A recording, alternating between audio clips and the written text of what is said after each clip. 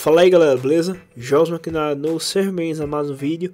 E galera, no vídeo de hoje eu vou trazer pra vocês golpes que a WWE baniu.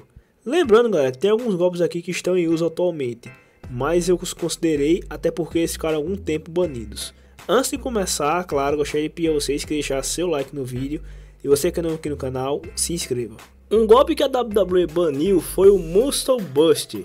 Esse que era um dos finalizadores do Samoa Joe ao lado do Coquina Clutch. Até o dia em que Samoa Joe aplicou esse golpe em Tyson Kidd em uma live event e lesionou feio o pescoço do lutador, levando a WWE ao banimento do finalizador, deixando assim o Samoa Joe somente com o Coquina Clutch. Um golpe que também é finalizador e ficou banido por um tempo foi o Curb Stomp, finalizador esse que é do Seth Rollins, golpe que você dá um pisão na cabeça do seu adversário. Ele ficou banido por um tempo, Aí depois a WWE liberou Seth Rollins para utilizá-lo novamente. Já que falamos de Seth Rollins, vamos falar de um outro golpe dele que também foi banido. Esse continua até hoje, que no caso é o Buckle Bomb, aquele golpe que o Seth Rollins jogava seu oponente no corner. O grande motivo do banimento foi a lesão de vários nomes, como Finn Balor e Sting. Sting inclusive até aposentou por causa disso. Outro golpe que ficou banido por um tempo e hoje é raro de ser utilizado é o Canadian Destroyer.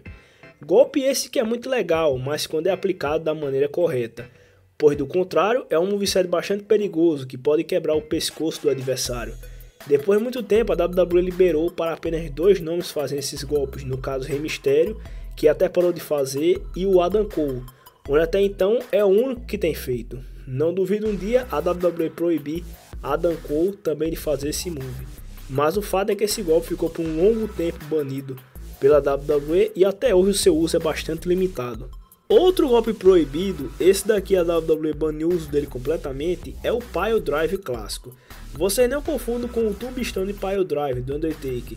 Esse no qual me refiro é o clássico, que a WWE baniu seu uso por ser bastante perigoso o modo no qual é aplicado. Move esse que já não só quase terminou uma carreira, mas também uma vida, que no caso foi Stone Cold, onde Owen Hart em um combate contra ele foi aplicar esse golpe e literalmente quase não quebrou o pescoço de Stone Cold de uma maneira que ele não podia sair vivo. Então, após alguns superstars usarem em ocasiões especiais, já que seu uso era limitado, a WWE decidiu banir o uso dele completamente. Um golpe que parece, mas não é fácil de ser aplicado, é o Punt Kick. Esse que é um dos finalizadores do Vibro Randy Orton, ao lado do RKO. Geralmente ele aplica quando está como rio, mas é um move que aparenta ser fácil, porém não é.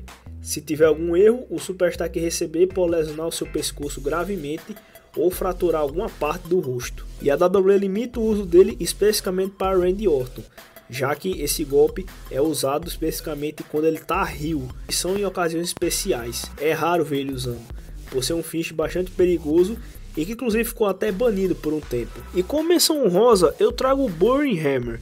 Esse golpe que a WWE limitava alguns superstars de usar, era raro ver algum superstar fazendo ele, só que a WWE pegou e baniu ele definitivamente, deixou esse golpe aí sem utilidade, até porque com esse golpe aí o superstar podia ferrar muito o pescoço do outro e podia até causar algum falecimento de alguém.